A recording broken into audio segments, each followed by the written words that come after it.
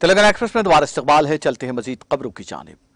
दिल्ली के वजी अला अरविंद केजरीवाल ने आज दिल्ली हुकूमत के तहत स्टेडियम को रात 10 बजे तक खिलाड़ियों के लिए खोलने का फैसला किया। अखबारी रिपोर्ट्स के ज़रिए उनके इल्म में ये बात आई कि स्टेडियम को खिलाड़ियों के लिए जल्द बंद किया जा रहा है, जिसकी वजह से खिलाड़ियों को रात देर गए तक खेलने में दुश्वारी का सामना है। वजी अला अरविंद केजरीवाल ने दिल्ली हुकूमत के तहत स्टेडियम को रात दस बजे तक खिलाड़ियों के लिए खोलने का फैसला किया। सिसोदिया ने अपने ट्वीट में एक खबर भी शेयर की है, जिसमें कहा गया कि आईएएस अफसर की अपने कुत्ते के साथ टहलने के लिए शाम सात बजे तक खिलाड़ियों के लिए स्टेडियम बंद कर दिया जाता है। हुकूमत ने फौरी तौर पर इस खबर का नोटिस लेते हुए खिलाड़ियों के लिए स्टेडियम के औकात में तोसी कर दी है। वाजह है कि यहाँ के त्यागराज स्टेडियम में ट्रेनिंग करने वाले खिलाड़ी और कोच पिछले कुछ महीनों से परेशान थे। उनका इल्ज़ाम था कि शाम सात बजे से पहले उन्हें ट्रेनिंग खत्म करने के बाद स्टेडियम स्टेडियम खाली करने को कहा जाता है, जिससे उनकी प्रैक्टिस मुतासर हो रही थी। एक अखबारी रिपोर्ट के मुताबिक एक सीनियर आई एस अफसर शाम साढ़े सात बजे करीब सैर के लिए वहाँ आता है और उसके साथ उसका कुत्ता भी होता है।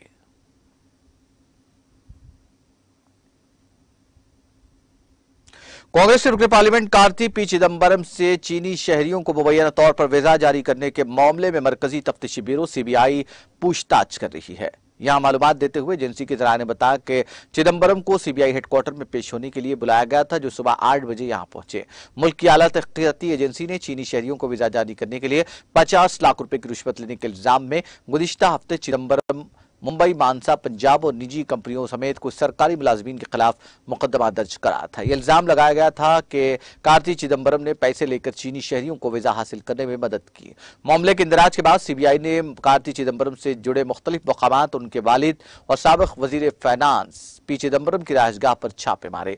एजेंसी ने चिदम्बरम को के करीबी साथी एस भास्कर को गिरफ़्तार कर लिया। इसी दौरान जूनियर चिदम्बरम ने एक ट्वीट में कहा कि मेरे खिलाफ दर्ज मुकदमात की हैसियत एयरसेल जाली, आईएनएक्स, ज़्यादा जाली वीज़ा सबसे ज़्यादा जाली है।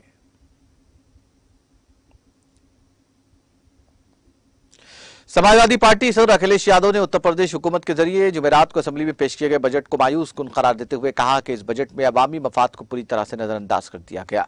रियासत के वज़ीर मालियात सुरेश खन्ना के ज़रिए योगी हुकूमत के दूसरे म्याद का पहला बजट पेश किए जाने के बाद अपने तबसरे का इजहार करते हुए असम्बली में अपोजिशन लीडर अखिलेश यादव ने कही। उन्होंने कहा कि इस बजट में अवामी बहबूद से वाबस्ता स्कीम के बजट में कतई इजाफा नहीं हुआ है। इसके बरक्स मुख्त रकम में तखफीफ कर दी गई है। उन्होंने कहा कि इस हुकूमत का कहना का कहने को ये छोटा, ये छठा बजट है, लेकिन इसमें कुछ भी बड़ा नहीं।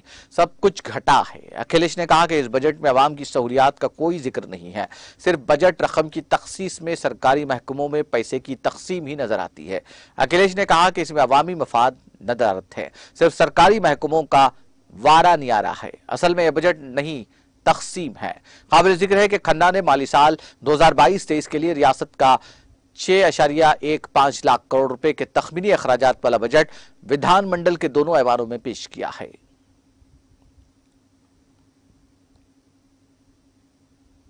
एनफोर्समेंट डायरेक्टोरेट ने मनी लॉन्ड्रिंग केस में जुमेरात को महाराष्ट्र के वजी ट्रांसपोर्ट और शिवसेना लीडर अनिल प्रभ के साथ ठिकानों पर धावे किए।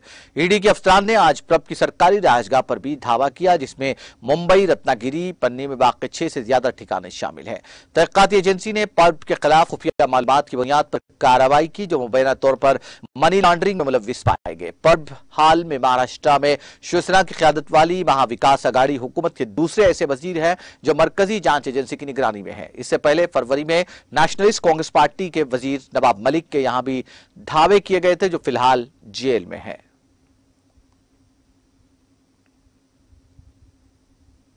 झारखंड के सबक वज़ीर बंधु तर्की की राजगाह पर सीबीआई की टीम ने जुमेरात को धावा किया।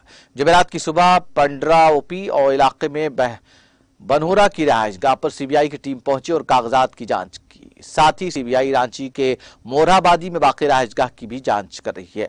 बताया जा रहा है कि चौंतीसवें नेशनल खेल घोटाले के सिलसिले में सीबीआई की टीम ने यह दावा किया है। बंधु तुर्की, झारखंड कांग्रेस के रियासती वर्किंग सदर है और वो पार्टी की कुछ मीटिंगों में शिरकत के लिए दिल्ली में है। सीबीआई ने हाईकोर्ट के हुक्म पर ग्यारह अप्रैल और बाईस अप्रैल को कौमी खेल घपले में दो एफआईआर दर्ज किए थे। पहला केस मेगा स्पोर्ट्स कॉम्प्लेक्स की तामीर में बेजाबतगियों से जुड़ा है। नामालूम अफराद के खिलाफ दर्ज है, जबकि दूसरा केस है जो खेलों के इवेंट से मुतालिक घपले से है। पहले इस मामले की जाँच एसीबी कर रही थी, जिसमें बंदू तुर्की गिरफ़्तार किए गए थे। उनके खिलाफ चार्जशीट भी दायर की गई थी। अमेरिकी सर जो बाइडेन ने पुलिस असलाहत से मुतालिक एक एग्जीक्यूटिव ऑर्डर पर दस्तखत किए हैं ताकि मुल्क के अवाम और कानून नाफिज करने वाले इदारों के दरमियान एतमाद पैदा किया जा सके। बाइडेन ने कहा यह एक ऐसा तरीका है जिससे हम इस मुल्क को सही समत में ले जा सकते हैं। व्हाइट हाउस ने एक अलग बयान में कहा कि बाइडेन के एग्जीक्यूटिव ऑर्डर में अमरीकी अटारनी जनरल को एक कौमी डेटा बेस कायम करने की हिदायत की गई है, जिसमें पुलिस के बद इंतजामी के रिकॉर्ड शामिल होंगे, जो तमाम विफाकी एजेंसियों के ज़रिए एहलकारों की स्क्रीनिंग के लिए इस्तेमाल किए जाएँगे।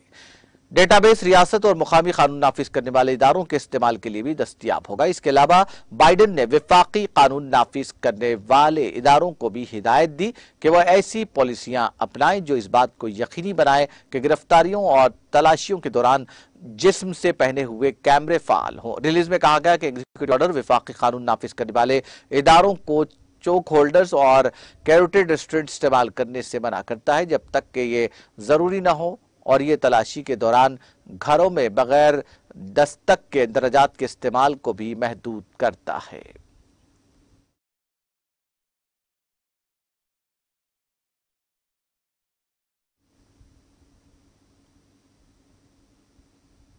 कनाडा की पब्लिक हेल्थ एजेंसी ने मंकी पॉक्स के 16 मामलों की तस्दीक की है। ये तमाम मामले सूबे क्यूबिक में दर्ज किए गए हैं।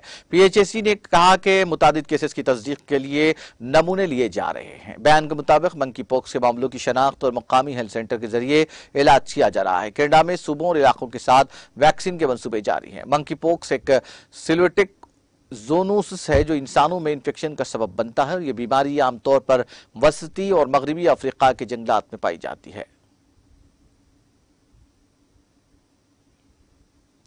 अमेरिकी सदर जो बाइडेन ने ऐलान किया कि वो अगले चंद दिनों में ओल्ड शहर के राब एलिमेंट्री स्कूल का दौरा करके एक लड़के की फायरिंग से मारे गए 21 बच्चों के अहल से मुलाकात करेंगे। ओल्ड शहर के रोब एलिमेंट्री स्कूल में एक लड़के की तरफ़ से की गई फायरिंग से इक्कीस अफराद मारे गए थे, जिसमें 19 बच्चे भी शामिल थे। इन बच्चों की उम्र सात से दस साल के दरमियान थी और उनमें से कुछ को स्कूल में, उनके स्कूल में अच्छा काम करने पर इनाम भी दिया गया था। मुतासरीन में एक दस साल लड़का भी शामिल था, जिसे रक्स करना पसंद था। दूसरी एक लड़की थी जिसने पुलिस को बुलाने की कोशिश की और इस दौरान उसकी मौत हो गई। अबादी याफ्ता बच्चों के वालदेन अपने बच्चों के सर्टिफिकेट देखकर खुश हो रहे थे, लेकिन फायरिंग के बाद सब कुछ बदल गया और उन्हें दिल बर्दाश्ता होकर वापस अपने घर लौटना पड़ा।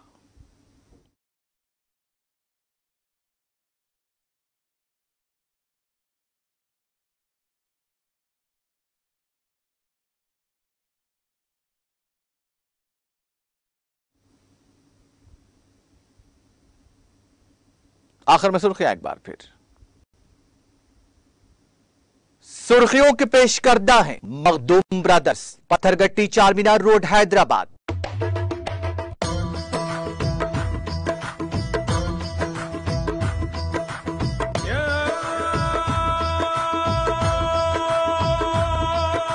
Makhdoom brothers, Patthargatti Char Minar road, Hyderabad.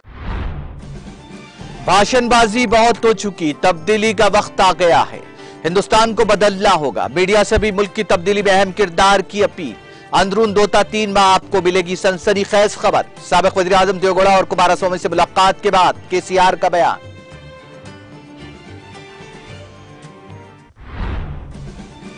Hindustan बड़ी मीशतों में तेज़ी से तरक्की करने वाला मुल्क। हैदराबाद में इंडियन स्कूल ऑफ़ बिज़नेस के कॉनोकेशन तकरीब से वजी आज़म नरेंद्र मोदी का खिताब।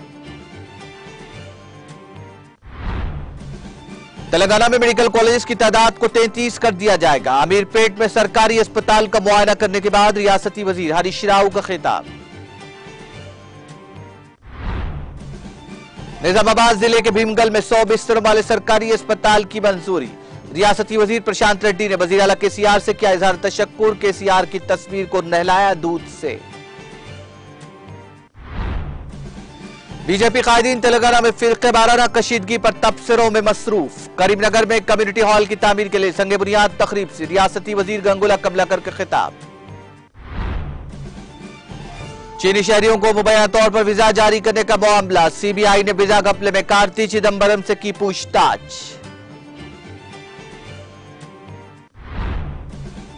और अमरीकी सदर बाइडेन ने पुलिस असलाहत के एग्जीक्यूटिव ऑर्डर पर किए दस्तखत, मुल्क के अवाम और कानून नाफिज करने वाले इदारों के दरमियान एतमाद पैदा करना है मकसद।